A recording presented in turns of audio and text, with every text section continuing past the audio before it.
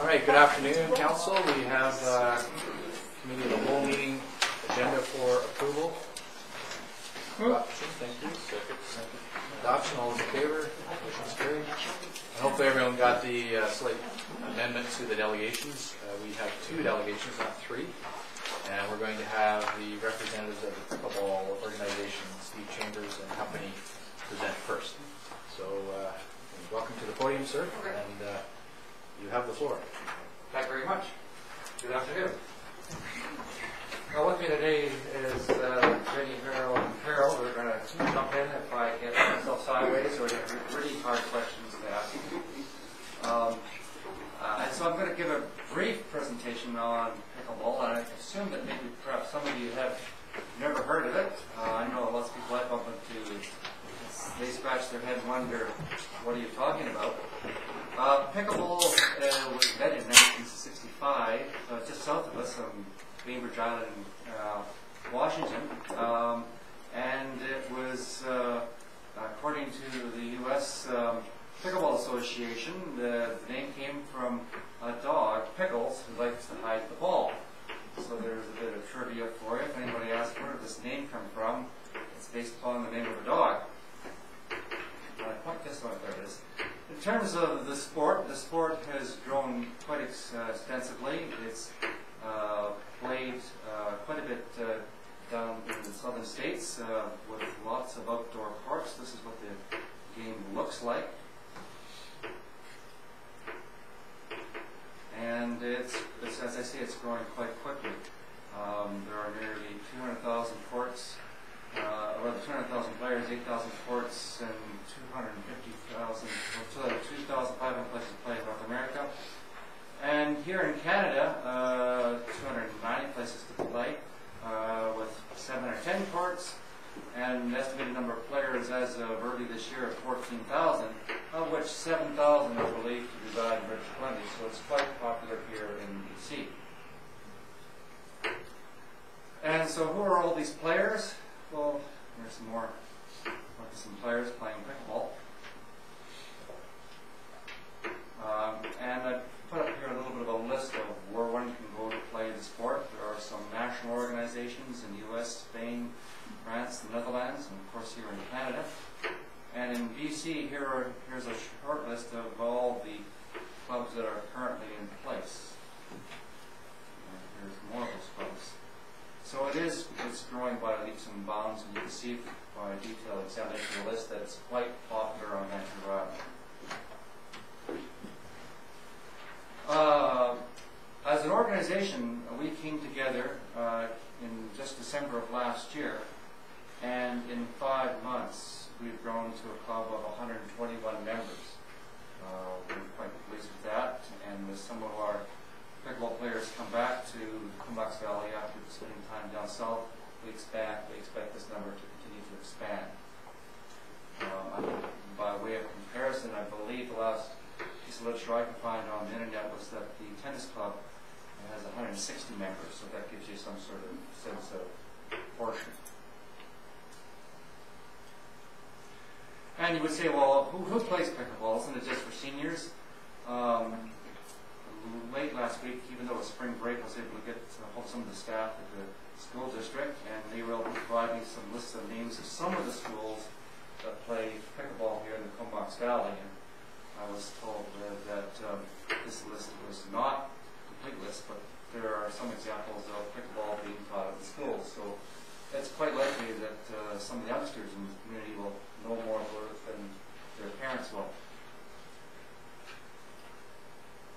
So where does one go and play pickleball with family and friends on a Saturday afternoon?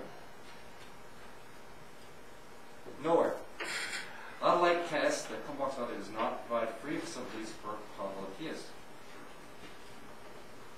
How can this griefs and justice be addressed and corrected? I'm glad you asked that question. Uh, by the addition of permanent outdoor pickleball courts, which would complement the suite of excellent outdoor facilities already available in Comox. And the Pickleball Association would like to offer its support to such an endeavor.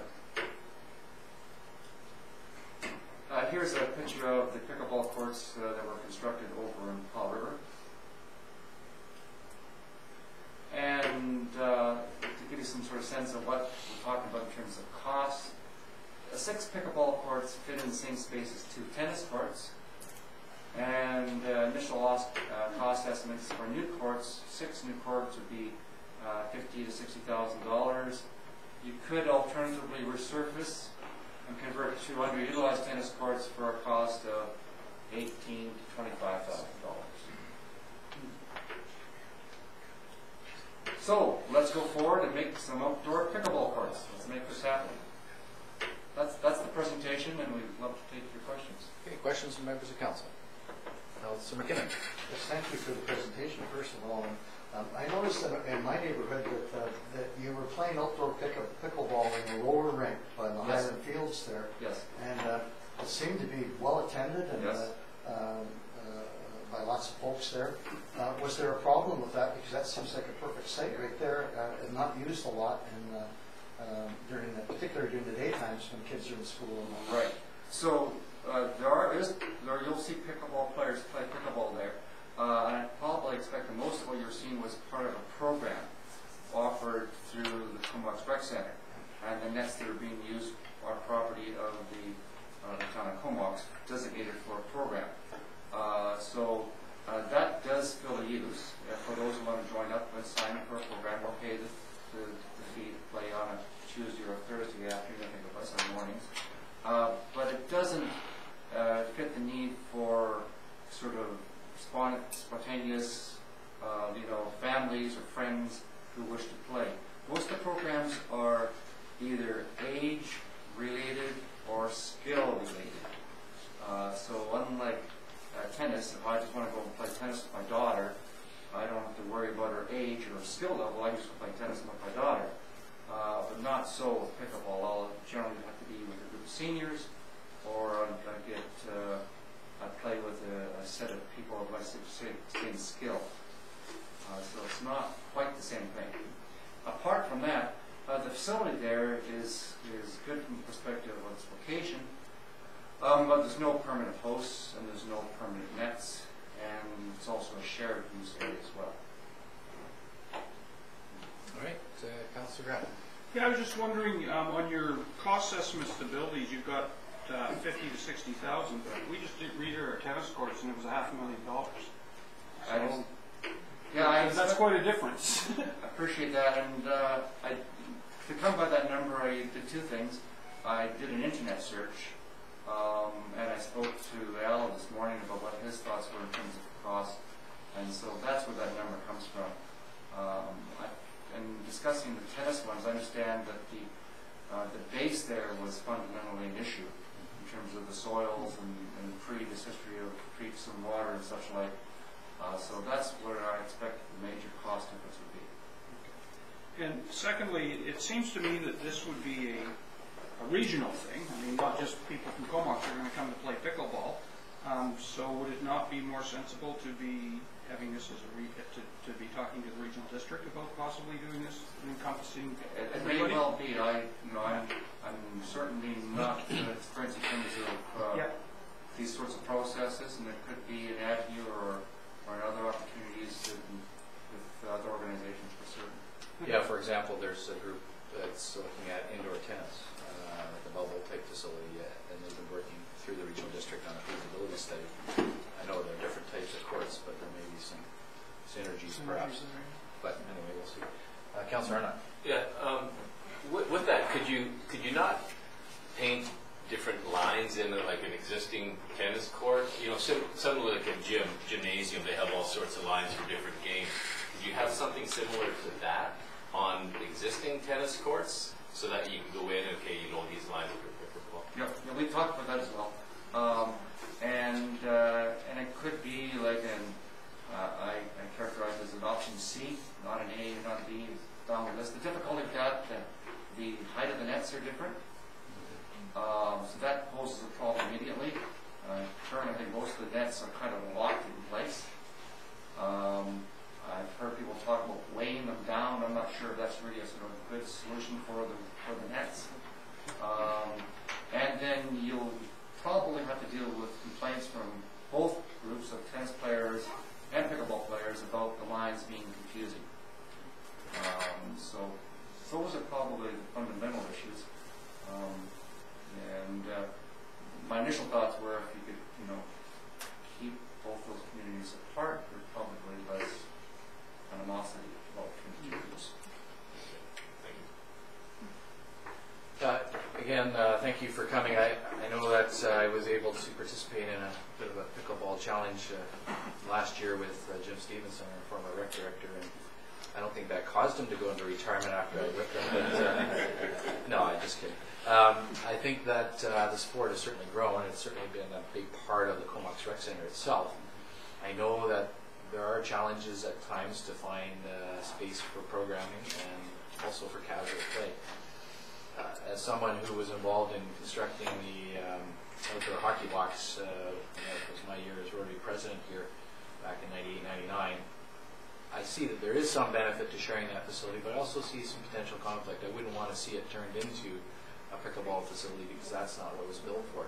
That being said, there is land next to that that is under lease uh, with the school district that might be a possible um, location for a court should funds be raised. And I guess I have two questions. One is, have you looked at specific locations in the town? And two, have you done any fundraising yet? Yeah, so, both good questions. Uh, We have looked at various locations in the town, and I think the site you refer to is probably, uh, you know, in my opinion at least, maybe the the best option available to us. In terms of fundraising, um, we were both sit down and and begin that exercise.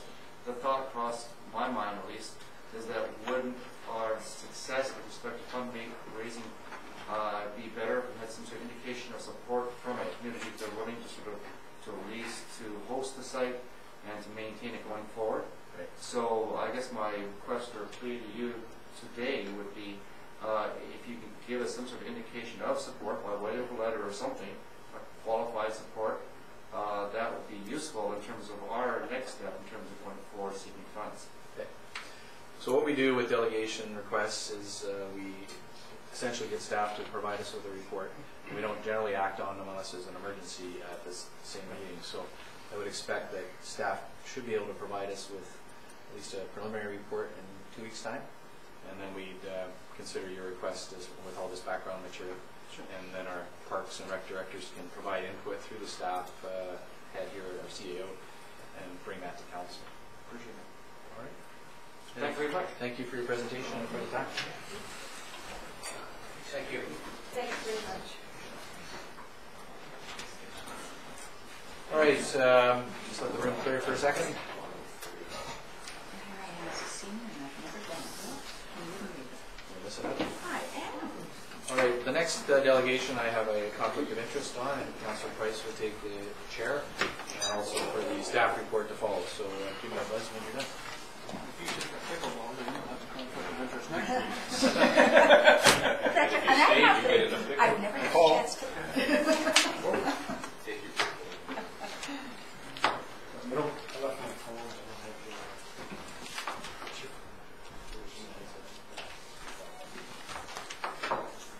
Well, welcome. And, uh, Hi, Sean.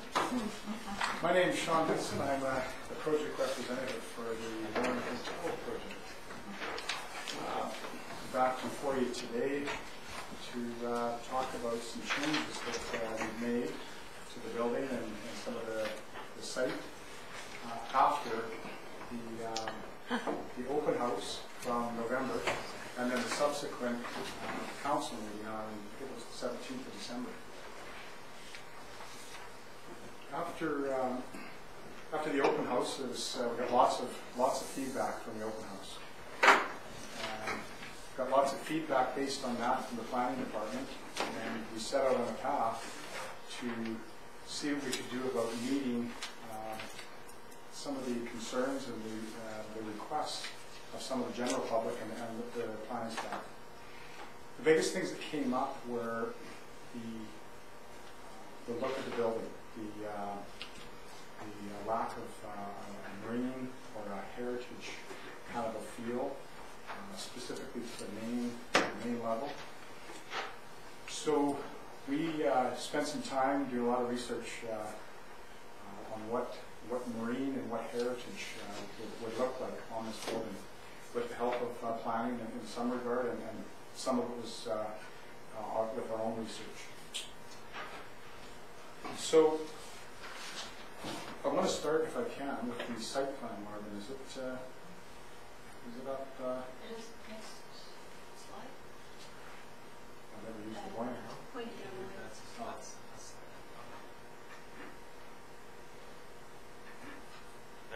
Okay. So this site plan that uh, showed as not being in your package today was in fact finished by Bruce Lewis today. A couple of the, um, couple of things that we had to address were on the Comox Avenue side where the planter is right down at the bottom. Uh, Planning, the planning and engineering staff wanted a minimum of two meters clearance between the patio and the planter. In the past, uh, that, that area has been very tight for the general public to walk through. And uh, I'm not, uh, Excuse me, Sean, I don't mean to No, no, interrupt, no but problem. my head is in the way. You can just say when you want it advanced, and we'll advance on it. sure. Is there a pointer on this, Martin? or- Uh, yeah. Yeah.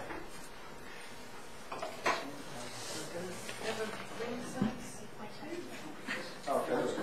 So, uh, right down in this area, uh, the landowners have agreed to um, give up a little bit of their property to ensure that the sidewalk has a minimum two meters clearance.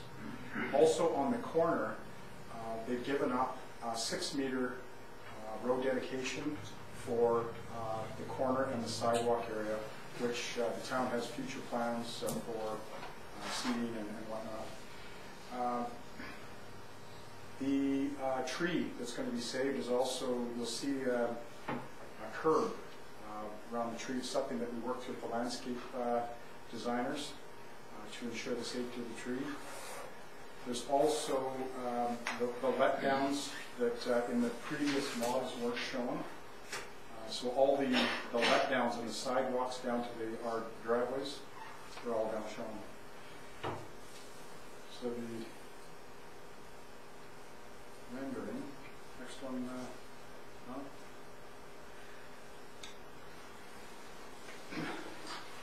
We had, um, we had provided the planning department with some color boards. And uh, they were actually quite, quite nice and they had all the colors of the building, but, uh, in the last couple of weeks, we decided to take a step out and uh, hire another firm to do a colored rendering of the building to try to uh, delineate clearly, as clear as we can on a, on a, on a flat screen with a three-dimensional drawing, some of the changes that we've made uh, since the open house December 17th council meeting. Planning felt it was very important to highlight the corner facing the intersection at uh, Comox and uh, Port Augusta. So a couple things we've done, we've we've beefed up the, the posts, uh, the covered entry, and we've gone to natural stain as opposed to the white stain that uh, was shown in the last uh, color board. You can see more clearly up here, the, the old Lorne Hotel had some, uh, what they call knee brace uh, accents uh, on all the posts on the front of the building.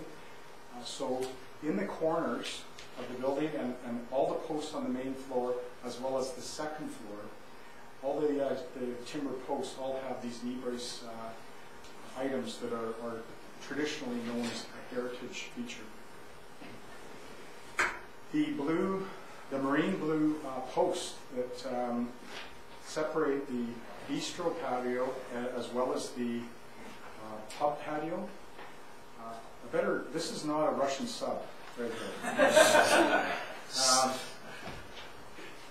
The architects that uh, took the pictures, uh, they, they took the pictures and they they were under a bit of a timeline to get this thing um, all together for us. This is actually the planter that is this size, that actually is in front of the Lorne Hotel. So my apologies for uh, any confusion, but, uh, or alarm that may cause. And it's not in the middle of the street. It's not in the middle of the street. No. So the, um, the, we, we have to have a barrier from the liquor establishment to the public area. So those uh, marine blue posts have, they're gonna be either uh, chain or a polished uh, stainless cable. In little loops, and they are in there, you can see one right there, and they loop between, from post to post. So it, it gives a real open feel, uh, also that nautical, that nautical feel that uh, you do see on some promenades and decks in other communities. The, one of the things that uh, we were asked to do is try and draw the, the uh, attention to the main floor of the building. So in, in doing that, we had to encompass the second level as well. In the last um, rendition of the plan, the railings were a mixture of glass, solid, and some picket.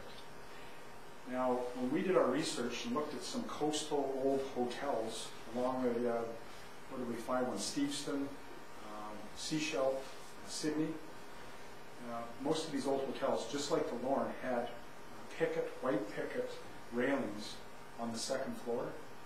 And again, that is a, that is a feature that uh, just about all these uh, old buildings had. So we've incorporated that now into all the decks on the second floor. The, the upper floors, again, we actually, in some of these areas, we had solid walls uh, and glass on the front uh, to create some privacy buffers for the residents that will inhabit the building. The planning department, uh, along with the architects, came to the consensus that um, going all glass and having a, a real fluid look to the building was, uh, was a much better way to go. Um, One thing I'd like to point out, again, we did do the timber uh, rail, uh, the timber post up on the third floor here. Uh, Again, to try to draw the eye to the corner of the building, which is part of the, um, uh, part of some of the guidelines. It's a little bit difficult to, uh, to see this, but just to, just to be clear, the, each floor of the building steps back as it goes to the top. Okay, that, that corner is not a, not a solid, uh, a wall going up. Um, One thing that uh, has come out of the rendering, which we could not uh, ascertain from the one-dimensional plans that the, ar- our architects were providing for us, was the glass on the front of the building, uh, on the pub and the bistro in particular. Our, our old windows looked quite squatty. They, they did not uh, give a commercial look and a feel to those. So now this has come quite late, and um, we've asked the planning department if you guys would consider in, in a schedule, schedule one that we were, were able to add this this extra height uh, for the windows, so that the both the, the outside and the inside of the building uh, look and function a little bit better.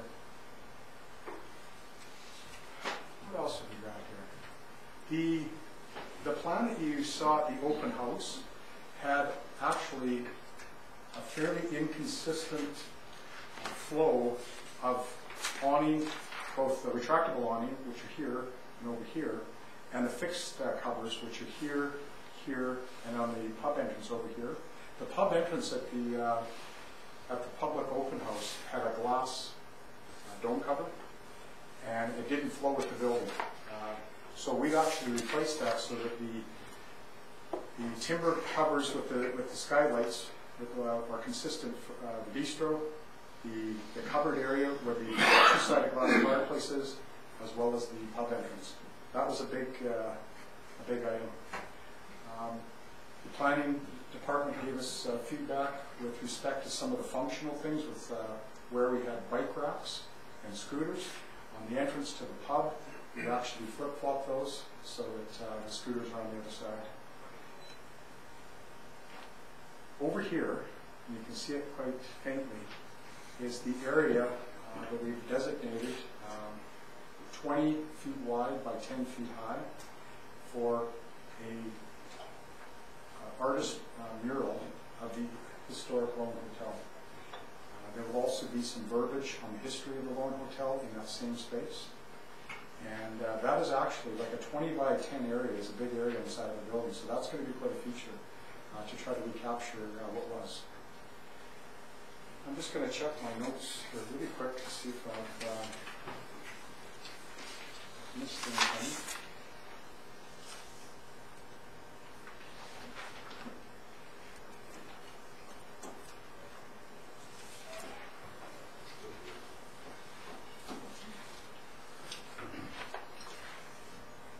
The, um,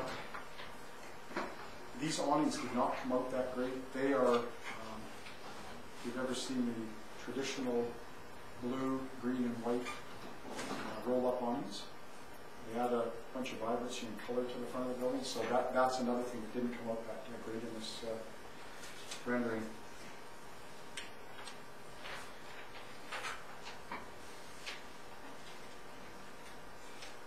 One thing that you can't see in behind, uh, separating the bistro and the patio area, we've created a little V space that sets back into the patios that's going to be a small public amenity space. And if any of you have ever been to the big cruise ship docks, you see the big cleats. Uh, we're going to have probably Island Timber Frame uh, build uh, cleat seats. So they, they look like ship cleats, uh, but they will actually be seats for people to sit and face one another while they can sit and watch you know people walk by. And uh, and those uh, drawings are actually in the package that the planning department uh, has. And I think that's, uh, I think that's uh, it. Thank you. Questions? Okay, so are there any questions? The, uh, next one over. Am I, am I too early to ask the question, have you had any interest in the residential units at all? Uh, no. We, we can't take deposits on units because we don't have uh, disclosure finished and the, and the building has to be finalized with the town. But um, we are now taking letters of interest actually. And uh, it's, it's surprising the amount of interest this building is uh, getting. And I think that as we move forward with uh, uh, the public hearing and then and afterwards, it'll, that'll increase. So there's, uh, I think we've probably got 15 to 20 people that I'd consider uh, more than, uh, more than tire kickers. Great. Yeah. Councillor McKinnon? Yes, thank you, Your Worship.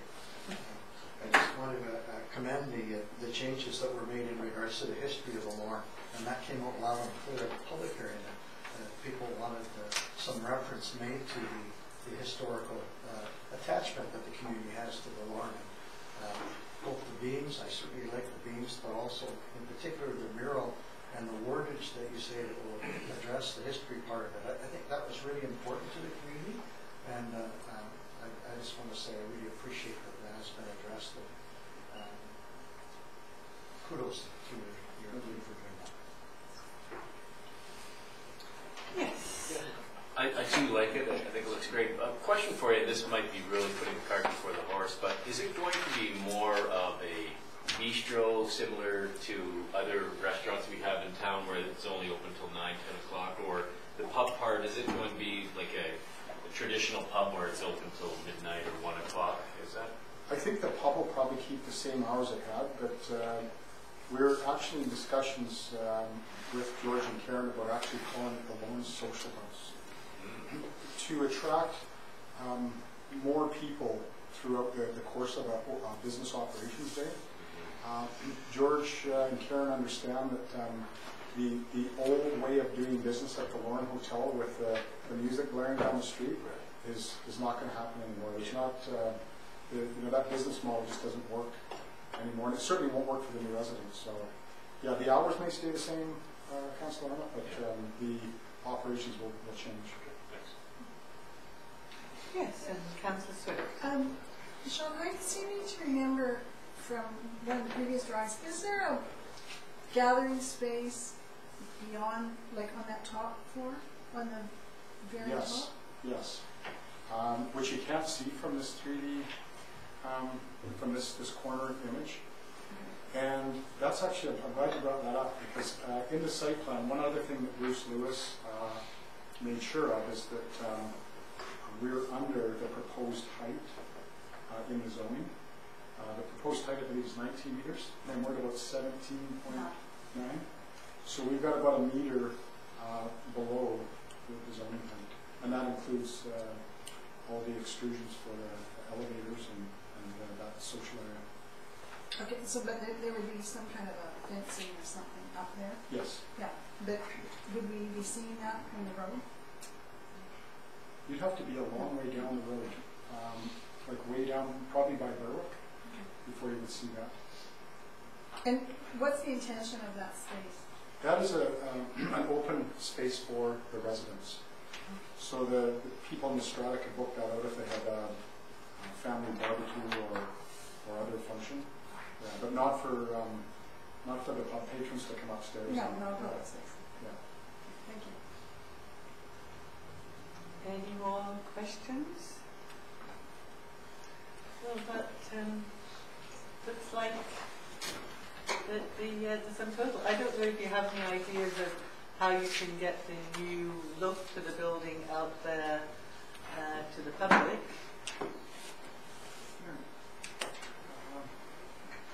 I'll bet these guys could do something about that. Um, I, I think, uh, would that come at the public hearing?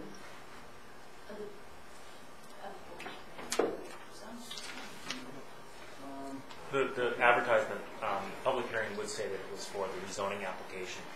Um, and anybody who wished to come in and take a look at the uh, rendering and the revised drawings we would have in the building. Great, so there'll be a bit of time beforehand for people to come and take a look. Yes. Great, thank you. Lovely, well, thank you. And uh, so we will move on now. Um, Thank you for your time. You're welcome. And we can, before the mayor comes back, uh, deal with the staff report. So move receipt of the staff report? Okay. Because you're just going to amend the schedule one to include the windows.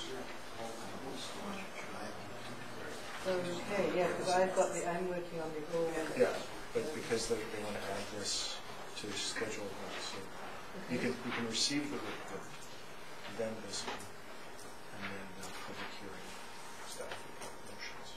So I'll move receipt of the report. I'll second. Thank you. So we have the report in front of us. So any questions on the report? I like the changes that they made. That's good. Here, here, I second that.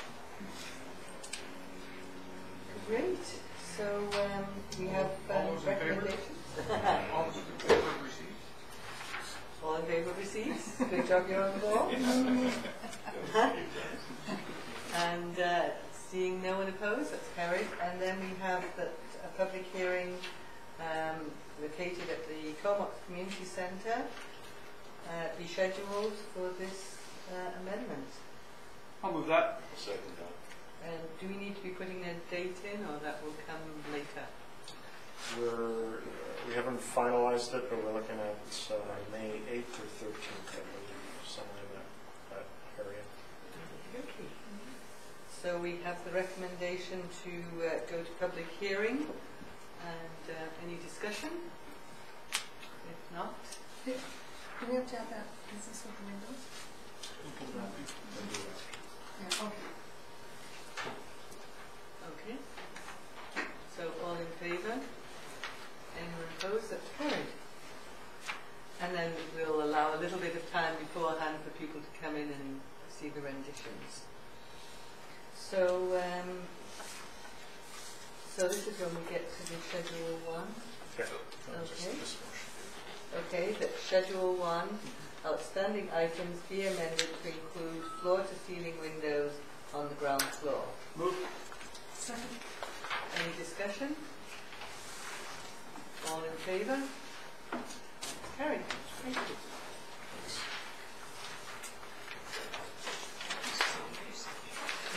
Okay. How many good things?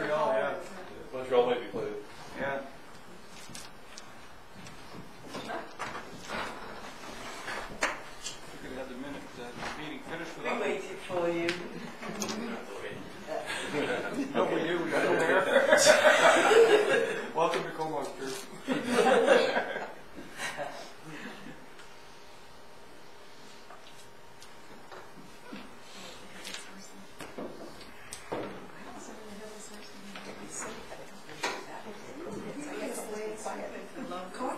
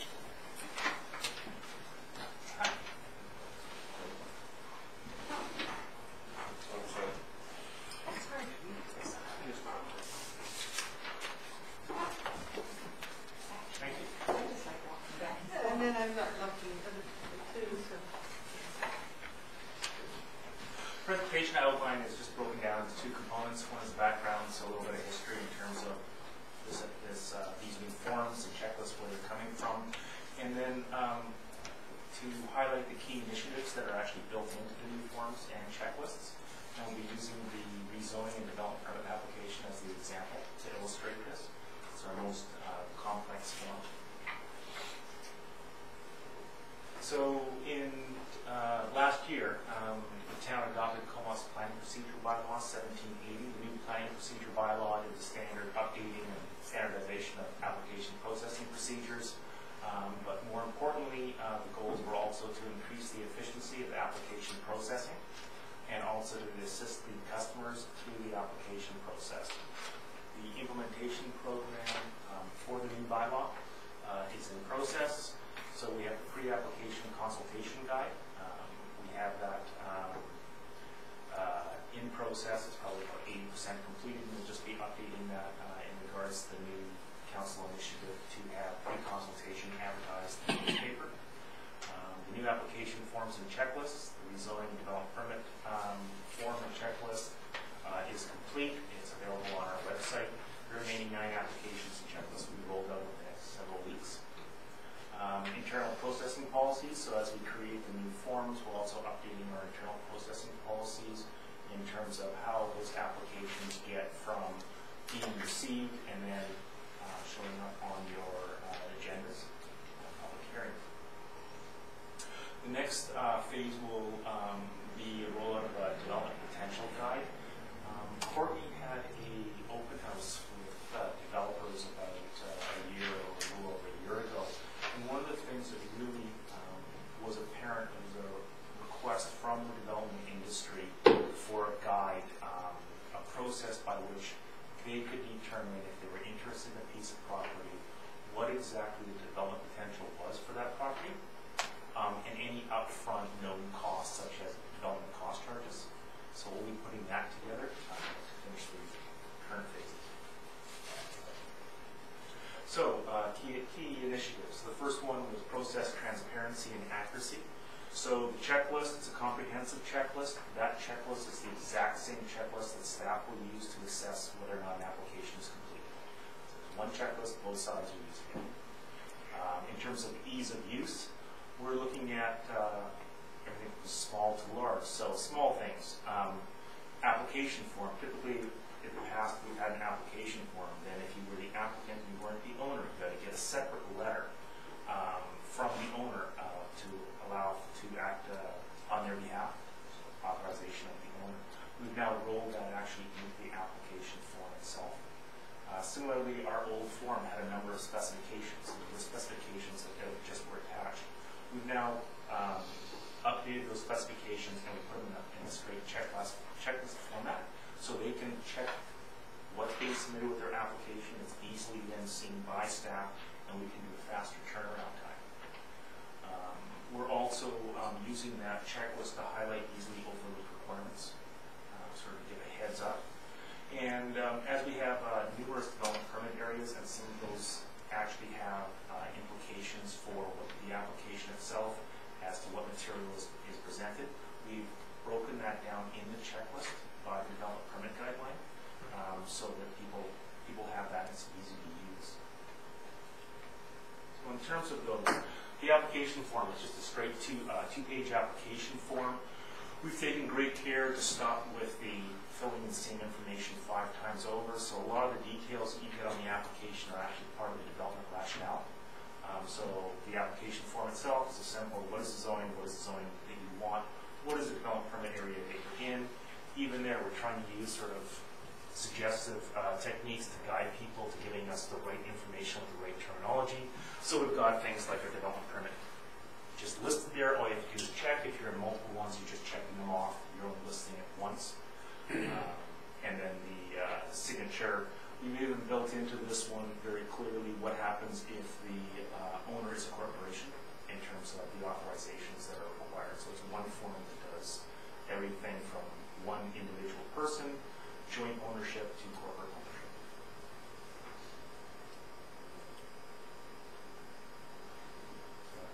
Straightforward uh, checklist. So we have the front intro checklist items, each one with a nice little box, is on the uh, left column. And then we u- using the right column to, under the checklist item, if there's additional information, something that's highlighted that's uh, easily overlooked, we've done that in the right column. So something that you can actually read. Um, so DPA specific requirements. So for example, we have here, when we get into the site plans, these different um, development permit areas are for multifamily development, with development permit guidelines require accessible access. So then this is triggering, is already saying, okay, then show your grades to make sure that we do have accessible access. One of the things that um, Sean Vincent was alluding to in his presentation the revised drawings. Um, the uh, and also we get into um, items of like easily overlooked items. When the applications are coming in, a lot of these applications, such as the Lorne, are coming in with additional road dedication. They're also coming in with infrastructure improvements within the road dedication. So the idea that that's clearly, clearly shown on the drawings and researched right at the beginning, so when the application is submitted. And also the heads up, some of these are having um, encroachments in terms of landscaping, things like awnings. We start getting very concerned at that time in terms of our liability for those structures and also maintaining our rights in the long term that we can use it for road, public road purposes. So it's the heads up right away that if you're going to do that, that's fine, but then that's going to be a road encroachment agreement. And there's going to be a separate little plan that's going to be attached to a legal document that then requires annual proof of insurance and clarifies that we have the right at any time to remove those encroachments and use them for public purposes. Integration of the development process. What that really gets at is these rezonings um, are really starting to touch multiple departments, everything from administration to public works to parks, and so we try to build all of that into the checklist. So everything is there right at the beginning, is transparent. So we built in the pre-application um, consultation, i.e. how does the developer then present that so that it's useful information to council? Um, Tree retention and removal, which has caused us considerable issues in the past as we've gotten into the area, um, simply because the different professions often utilize different techniques, some as simple as marking trees. Some professions mark a tree that's supposed to be removed, the other one's mark a tree that's supposed to be saved. You go out on site, or as the public go on site, you have no idea if this tree's going or not, uh, or staying. Road dedication, um, just touched on, municipal infrastructure up, upgrades, road encroachment, BC hydro transformer locations. This has been a real problem over the years, and we finally have a resolution to that. And uh, I'll get into that a little bit later in the presentation. Garbage removal and out, making sure that they can actually get the trucks in to access the garbage compounds. Um, and then tying it into the recent council initiative with the affordable housing calculator, apartment calculator, sound attenuation, and also many of these, especially the lower density multifamily forms like townhouses, phased developments. And if we know that they're phased at the beginning, we can build in um, the necessary um, phasing allowances, so they don't have to come in for a separate development variance. It's scalable, so um, the rezoning and DP is the master checklist. Um, The other ones will be subcomponents of it, but even there, we try to design it such that we can readily physically, i.e. cross out sections of the applicant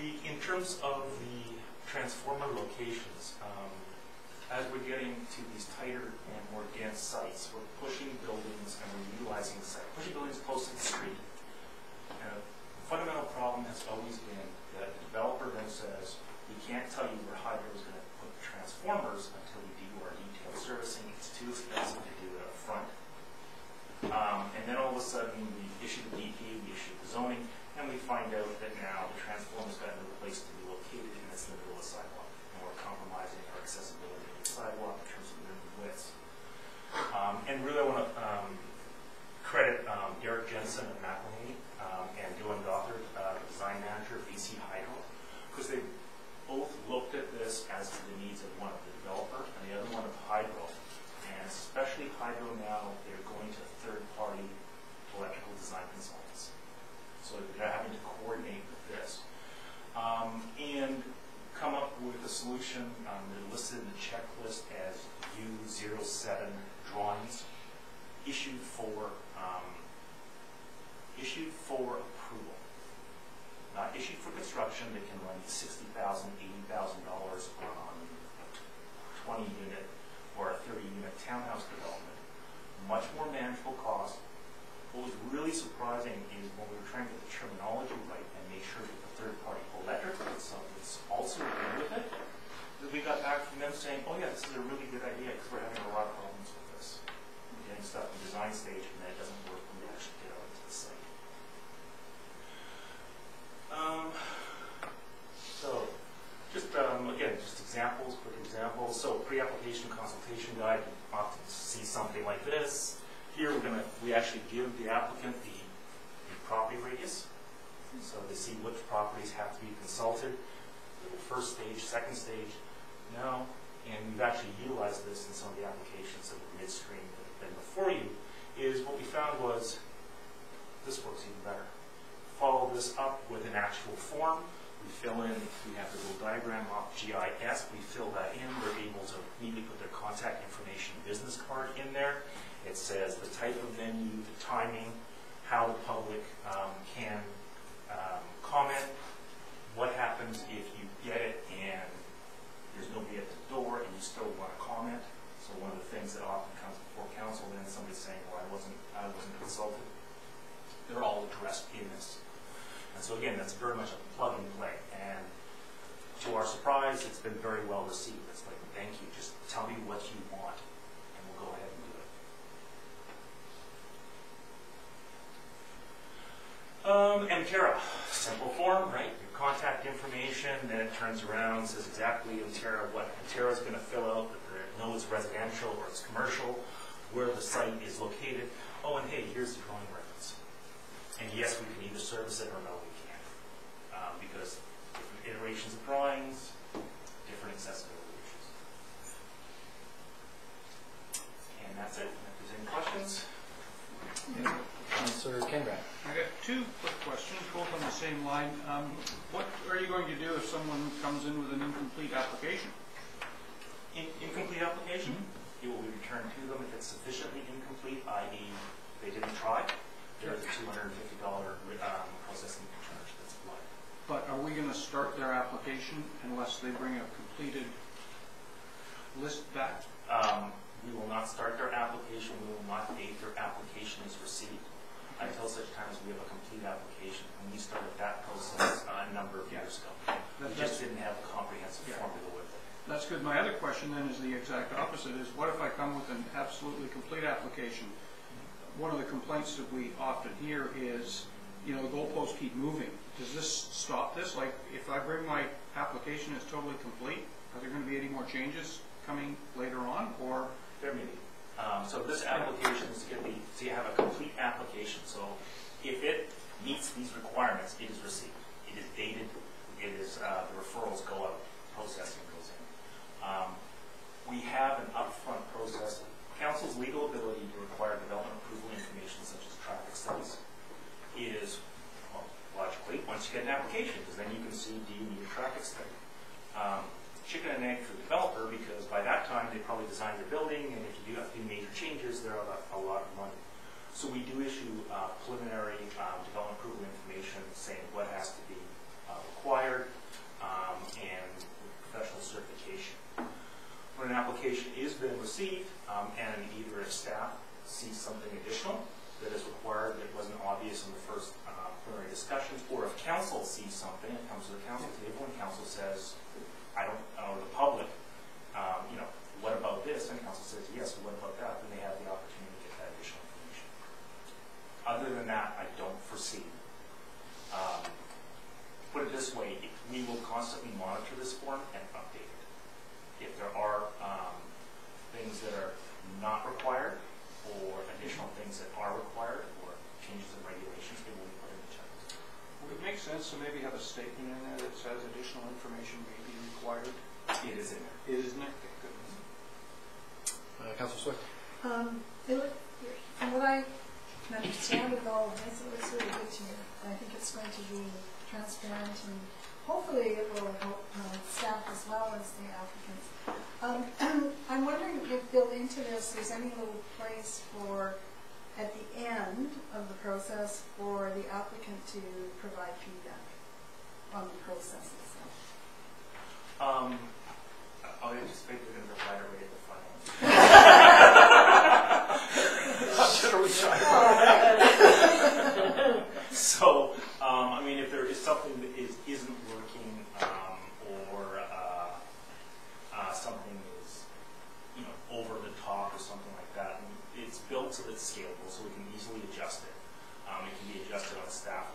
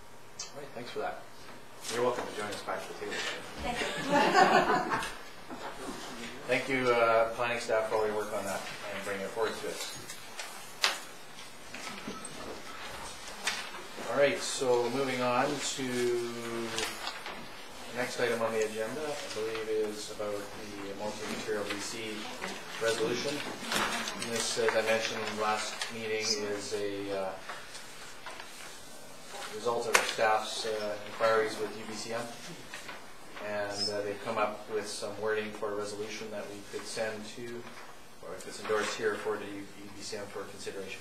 I move the recommendation. Second? Any discussion further to that? Uh, Seeing none, I mean, things may change between now and September, but uh, I think it's a good start, and uh, certainly the Minister of Environment appreciates our efforts in that regard, I know I've been speaking to. Yes? Yes, so how many communities did get left out? Do you have any uh, Well, there were five, to- five larger ones that uh, we knew about for sure, and I think there's still quite a few other small ones. There's, yeah, there's quite a few that are not part of the process. So, uh, yeah, maybe there'll be more information as we go forward.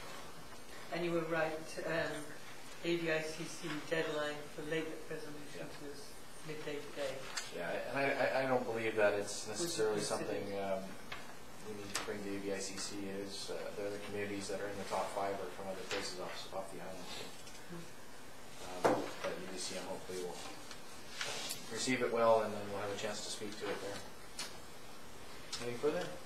Seeing none, all in favor? Motion's carried. Right, next item on the agenda has been brought to us by Councilor McKinnon, so I'll let him speak to it and then uh, see where we want to go with it. Councilor McKinnon. Yes, thank you, Your Worship. Uh, Just regarding public engagement uh, by mayor and council, we already have good access uh, for the public to our elected officials in Comox. And I need to say that up front. uh, You know, the mayor has an open door policy. Councilors' emails are available on the Town of Comox website. And uh, we get, certainly get uh, citizen contact through that, and we welcome that. Um, And we, and uh, mayor and councilors presently and individually quite often meet with individual citizens about issues as well. Um, But um, this public engagement initiative is being suggested to enhance further um, uh, public engagement by offering quarterly uh, informal coffee meetings with some councilors. And uh, it's intended to have voluntary participation by councilors and to have three or less councilors participate to avoid a quorum. Uh, One of the other councilors, my fellow councilors here suggest quarterly meetings. I'm uh, open, uh, not married to that, uh, but I think it's important for public perception that we continue to uh, open the door for uh, uh, public engagement. And I- I'd like to try this for a year. It's an informal coffee thing. It may be largely a referral to town staff, things about questions and concerns. Um, It it may be more. I think we have to to try it and see. It's not required for councilors. It would be uh, um, open to those that want to um, to do so. And I would set up a a sign-up uh, there in our our mail slots um, with an indication of the dates uh, on there.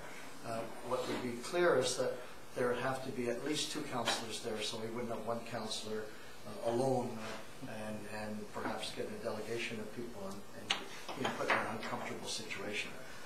my suggestion is, is that we try it for a year, and uh, if it, uh, and then come back with feedback to council to see if we want to continue. All right, thanks. Uh, Any questions, comments? Yes? I, I remember back to an all candidates meeting, when Wendy stood up and said, we used to have these, I'd like to see them repeated. And I very enthusiastically put my hand up and said, yes, I think it's a great idea. I do enjoy a one-on-one because I think there's a greater communication that way, but I think this is a great way of opening the door, and I'd like to put my name on the list. Councilor Grant? Is, uh, I mean, you could already, you could, you could already do this. I mean, is this just not up to individual councilors? If they want to do this, they can do it. I- I've seen other places, like Star used to do Walk with the Mayor. I've seen in other areas where they have a, you know, meet with su- such and such a counselor. And, I mean, I'm not sure if you're asking for a resolution here. I mean, you could already do this, so, you know, I don't know that we need to formalize it. You could just do it. Uh, I'll just respond to that if I can, and uh, yes, we we can do that, but I think, it- it- in my mind, I think it's important that we send a message to the public that we want to do it as a group, and that uh, uh, we're inviting the public feedback. And I I also need to mention that uh, um, some members of the public, like all of us, uh, um, feel more comfortable in an informal setting, having coffee, uh, listening to questions from other people and, uh, and raising some concerns that way. Uh, So that, uh, that in itself, I think, is, it makes the effort worthwhile. Yeah, I think what Councilor McKinnon's bringing forward is something a little more formal than, you know, obviously you, you can do it now as you see fit and uh, whatever place and time you want to meet with somebody on whatever issue. But this is a bit more formal, uh, scheduled, um, public notification given see who shows up. Councilor Flynn? Yeah, um, and I agree with Councillor Grant and McKinnon that I feel I made a commitment at the Berwick meeting to be open to this, and I'm pleased that you're uh, taking the lead and organizing it, so I'd be happy to, to join those sessions. Councilor Price? Yes, I think it's a great idea, and I think a little bit of support from staff, just making sure that the, um, it's on the website and that uh, it's okayed uh, with the, the venues suggested. Um, but I am a great believer in if you actually go out to where people are, you get a much better response and engagement than if you invite them to um, community centre or the town hall. So I, I think it's a great idea. Kudos to Councillor McKinnon for having it and proceeding with it. So do we need any anything Well, formal? maybe or ask is it a CAO direction for, uh, staff? some, I think we probably should have a resolution of some kind, and then staff, are there any concerns? And Councilor Arnott, I'll let you speak to as well. Uh, no, I, I don't think there are any concerns. A, we don't want a quorum, because once, once you reach that quorum number four, then it's, it's actually a meeting of council, and one that has to be advertised and one that we have to keep records for. So I would encourage you to keep your numbers at three or below. Uh, And we will, from a staff perspective, uh, assist with the advertising of, of the upcoming events using uh, social media as, as best we can. And our website. And our website. Councilor Arnott? Oh, yeah, I was just gonna say, don't forget about those of us who still work during the day. So, you know, that includes a couple counselors here and, and the public as well, um, you know, for evenings. 'Cause that's what I'm doing. And I did think, think about that, and I, I've written down some, uh, of- of contacting uh, all counselors and saying preferred days or times of day uh, in the rotation around for sign up. Uh, um, So thank you for that. and, uh, It's a good idea. And and I I would just add that I- you shouldn't forget that, you know, partic- particularly that there is uh, younger members of the community um, and families, uh, kids in school, uh, for those considerations, whether you want to do one of these at one of the, at the high school or something at some point, that might be an idea as well. And I know that, from time to time, we get asked to go up there and do different presentations, but uh, that might make it a little more uh, inclusive, perhaps, is the word I'm looking for. Uh, All right, so a motion uh, to support the uh, Coffee with Comox Counselors uh, proposal as outlined by Councilor McKinnon will be Okay, So moved? Is- So moved. Seconder? Further discussion? Seeing none, all those in favor? Motion's carried. All right, thank you, Council, and Councilor McKinnon for bringing that forward. Excuse me, Your Worship. Yes, Uh, ma'am. While you were absent, we very quickly skimmed over uh, department reports. I wonder, is it possible to go Oh. back to that? Because I'd Sure. like to make reference to the note that Mandy sent to all of us Oh, sure, yeah, go with ahead. regard to this award. Um, Could you give us just a little bit of background before we, I take it to the next step, Mandy?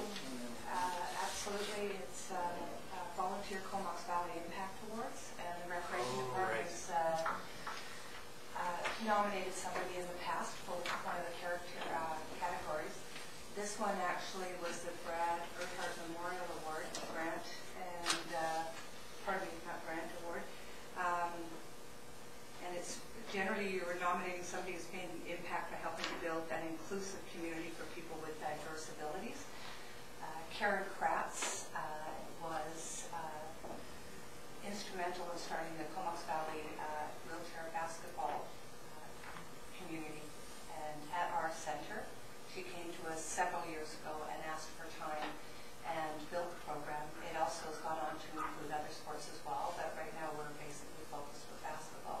So we nominated Karen for the award and she won. And I'll be presenting the award to her on April 18th at the award ceremony. Good stuff. Is that, um, I- may I make a motion? Uh, No, may I make a recommendation? Uh, maybe, yes. I just want to ask one question too. Does, does Karen know she's coming? She does. Okay. I just spoke with her today. Sorry, go go ahead, Councilor Grant. Well, I, I was just wanting to suggest that perhaps the town could send a congratulatory note Oh, to sure. Karen. I think it's a Yeah, very special award. no motion required for that, we'll take care of that. Okay, thank you. I, I wasn't sure, like uh, Councilor Sis said, whether she knew about it yet, so I didn't want to send her a letter saying congratulations or something she didn't. He won the lottery. All right, so we'll, uh, sign a suitable, I'll sign a suitable letter for that Okay. in the next few days here. All right, anything else? So we do have a motion to exclude the public under section nine sub C and D of the community charter. Second, all in favor? Motion's carried. We'll give a few minutes breather here on that.